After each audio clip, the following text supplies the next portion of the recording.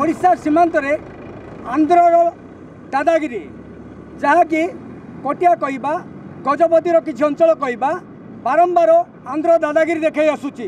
ତେବେ ଏ ନେଇ ସରକାରଙ୍କ ତରଫରୁ କୌଣସି ପ୍ରକାର ଆଖିଦୃଶିଆ ପଦକ୍ଷେପ ଗ୍ରହଣ କରାଯାଇନି ସେଥିପାଇଁ ଆଜି ଭୁବନେଶ୍ୱରରୁ ରାୟଗଡ଼ାରେ ପହଞ୍ଚିଛନ୍ତି ନାଗରିକ ମହାମଞ୍ଚର କିଛି ସଦସ୍ୟ। ଗତକାଲି ଗଜପତି ସେମାନେ ଅନୁଧ୍ୟାନ କରି ଫେରିଛନ୍ତି। ଆଜି ବର୍ତ୍ତମାନ ଅଛନ୍ତି ରାୟଗଡ଼ାରେ କଟିଆ ଅଭିମୁଖେ ବାହାରିଛନ୍ତି। ତ କ'ଣ ରହିଛି ସେମାନଙ୍କ ପ୍ରତିକ୍ରିୟା? କ'ଣ ରହିଛି କାର୍ଯ୍ୟକ୍ରମ? ଆସନ୍ତୁ ପଚାରି ବୁଝିବା। ଆମ ସହିତ ଯୋଡ଼ି ହୋଇଛନ୍ତି ନାଗରିକ ମହାମଞ୍ଚର ବରିଷ୍ଠ ସାମ୍ବାଦିକ ତଥା ବରିଷ୍ଠ ସଦସ୍ୟ ପ୍ରଦ୍ୟୁମ୍ନ ଶତପଥୀ ପଚାରିବା କ'ଣ କହିବା? ସାର୍ କ'ଣ କହିବେ? ଆଜି ଆପଣମାନେ ରାୟଗଡ଼ା ଆସିଛନ୍ତି। ଗତକାଲି କୁଆଡ଼େ କ'ଣ କାର୍ଯ୍ୟକ୍ରମ ରହିଛି? କ'ଣ କହିବେ ସାର୍? କାଲି ଆମେ ଗଜପତି ଜିଲ୍ଲାର ସମସ୍ତ ସୀମାନ୍ତବର୍ତ୍ତୀ ଅଞ୍ଚଳକୁ ଯାଇଛୁ ଏବଂ ଆନ୍ଧ୍ରର ଦାଦାଗିରିର ପ୍ରତ୍ୟକ୍ଷ ପ୍ରମାଣ ମଧ୍ୟ ଆମେ ପାଇଛୁ। ଓଡ଼ିଶା ସରକାରଙ୍କର ଉଦାସୀନତା ପ୍ର- ପ୍ରମାଣ ପାଇଛୁ।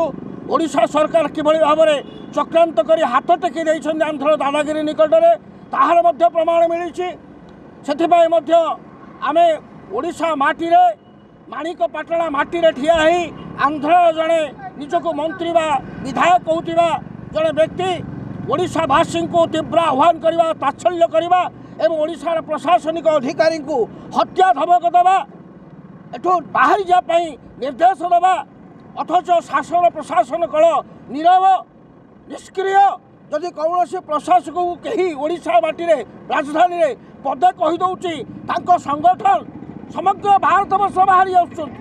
ମାତ୍ର ଜଣେ ପ୍ରଶାସକକୁ ଜଣେ ଆନ୍ଧ୍ରର ବ୍ୟକ୍ତି ଅନଧିକାର ଓଡ଼ିଶା ମାଟିରେ ପ୍ରବେଶ କରି ତାତ୍ସଲ୍ୟ କରି ଗୁଳି କରି ଉଡ଼େଇ ଦେବା ଭଳିଆ ଶବ୍ଦ ବ୍ୟବହାର କଲା ଅପରାଧିକ ଶବ୍ଦ ମାତ୍ର କୌଣସି ପ୍ରତିକ୍ରିୟା ନାହିଁ ଓଡ଼ିଶା ସରକାର ପ୍ରତିକ୍ରିୟା ନାହିଁ ତେଣୁ ଓଡ଼ିଶା ନାଗରିକ ମହାମଞ୍ଚ ସେଇ ଅ- ଅପ- ଯେଉଁ ଅପରାଧୀ ଯେଉଁ ଅନଧିକାର ପ୍ରବେଶ କରିଥିବା ଆନ୍ଧ୍ରର ମନ୍ତ୍ରୀ ବିରୋଧରେ ଗଜପତି ଜିଲ୍ଲାର ଆରକ୍ଷୀ ଅଧୀକ୍ଷକ ଏସ୍ପିଙ୍କୁ ପ୍ରଥମ ଅଭିଯୋଗ ଫର୍ଦ୍ଦବା ଏଫଆଇଆର୍ ଆମେ ଦାଖଲ କରିକି କାଲି ଆସିଲୁ ଗଜପତି ଜିଲ୍ଲାରେ ସମସ୍ତ ସମସ୍ତ ବୁଦ୍ଧିଜୀବାକୁ ଏକାଠି କଲୁ।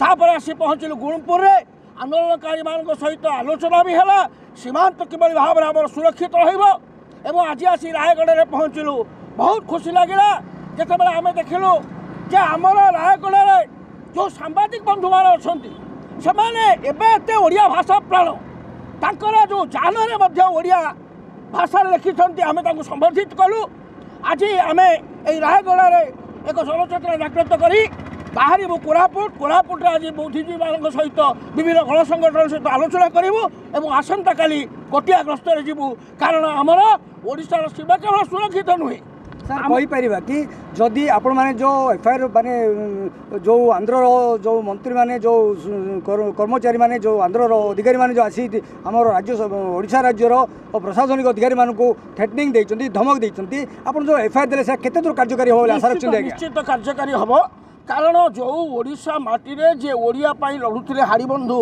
ଆମର ସବର ତାଙ୍କ ବିରୁଦ୍ଧରେ ମିଥ୍ୟା ମକଦ୍ଦମା ଆନ୍ଧ୍ରରେ କରି ଯେ ଓଡ଼ିଶା ପାଇଁ ଲଢ଼ୁଛି ତାକୁ ଗିରଫ କରିବା ପାଇଁ ଯେଉଁ ଯୋଜନା ତାର ଆମର ଜଣେ ଅପରାଧୀ ସେ ଅନଧିକାର ପ୍ରବେଶ କରିଛି ତାକୁ ଗିରଫ କରାଯିବ ଯେଭଳି ଭାବରେ ଚିଟ୍ ଫଣ୍ଡ ଡକାୟତିରେ ଆନ୍ଧ୍ରର ଜଣେ ବିଧାୟକକୁ ଆମେ ଗିରଫ କରି ଭୁବନେଶ୍ୱର ଆଣିଲୁ ସେମିତି ଜଣେ ମନ୍ତ୍ରୀକୁ ଗିରଫ କରିବାର ଅସୁବିଧା କ'ଣ ଅଛି କହିବା ସାର୍ ନିଶ୍ଚିତ ଭାବରେ ରାଜ୍ୟ ସରକାର ଆନ୍ତରିକତା ଅଭାବ ରହୁଥିବା ଆପଣ କିଛି ଲକ୍ଷଣ ଦେଖୁଛନ୍ତି କି ସାର୍? ନିଶ୍ଚିତ ଭାବରେ ରାଜ୍ୟ ସରକାର ସମ୍ପୂର୍ଣ୍ଣ ସୀମା ପ୍ରତି ଉଦାସୀନ।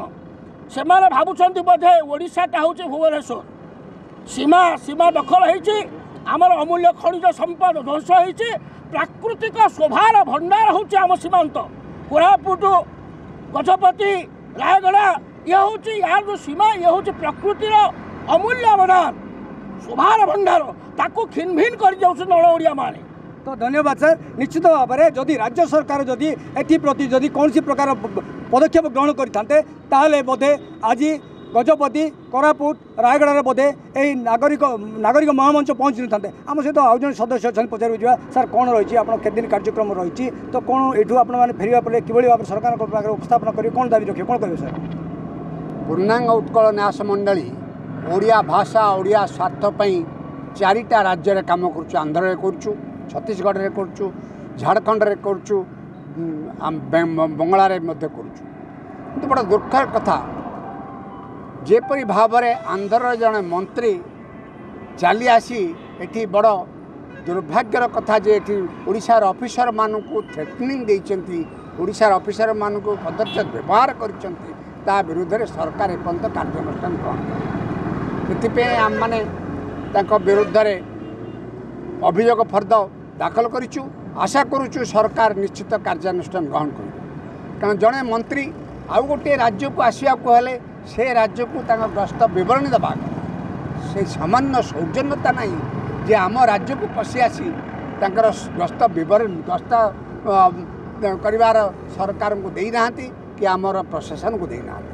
ଯାହାକି ସମ୍ବିଧାନ ବିରୋଧୀ ଧନ୍ୟବାଦ ସାର୍ ତ ନିଶ୍ଚିତ ଭାବରେ ଯଦି କହିବା ଆନ୍ଧ୍ରର ଦାଦାଗିରି କିଭଳି ଭାବରେ ସୀମାନ୍ତରେ ଚାଲିଛି ସରକାରଙ୍କର ଉଦାସୀନତା ଆଜି ଆନ୍ଧ୍ରର ଯେଉଁ ମନ୍ତ୍ରୀ ଆସି ରାଜ୍ୟ ଆମ ଓଡ଼ିଶାର ଯେଉଁ ପ୍ରଶାସନିକ ଅଧିକାରୀମାନଙ୍କୁ ଯେଉଁ ଧମକ ଦେଇଛନ୍ତି ନିହାତି ଭାବରେ କେବଳ ଗଜପତି କିମ୍ବା କଟିଆ କିମ୍ବା ରାୟଗଡ଼ା ନୁହଁ ନିହାତି ଭାବରେ ଓଡ଼ିଶାର ସାଢ଼େ କୋଟି ଓଡ଼ିଆଙ୍କୁ ଆଜି ଅପମାନିତ ଲଜ୍ଜିତ କରିଛି ତେବେ ଆଗାମୀ ଦିନରେ ଏହାକୁ ନେଇ ରାଜ୍ୟ ସରକାର କିଭଳି ପଦକ୍ଷେପ ଗ୍ରହଣ କରୁଛି ତାହା ସମୟ ହିଁ କହିବ। ରାୟଗଡ଼ାରୁ ଅଜୟ ରଥ ଅର୍ଗସ୍ ନ୍ୟୁଜ୍।